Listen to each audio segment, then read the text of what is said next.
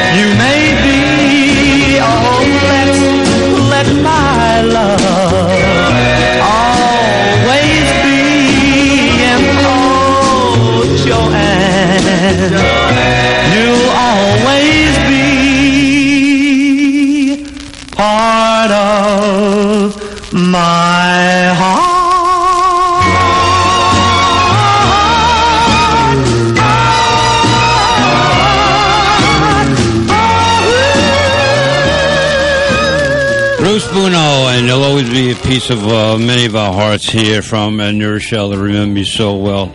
And of course, his daughter Meredith, who uh, was singing with the Who's Your Daddy band there for a while, who has a great voice herself, and I love to see her back out there. John Peter McGuire on Facebook, who's living in Florida, of course, originally from New Rochelle. He says uh, Bruce will be in heaven with doo-woppers, Johnny Maestro, Jimmy Beaumont, the Big Bopper, Ritchie Valens, and so many more, Elvis and everyone else. And uh, he'll join the rock and roll heaven gang up there. So, just our little dedication to remember Bruce. And every once in a while, we'll, of course, play hey, Dear Joanne and Hey Little One.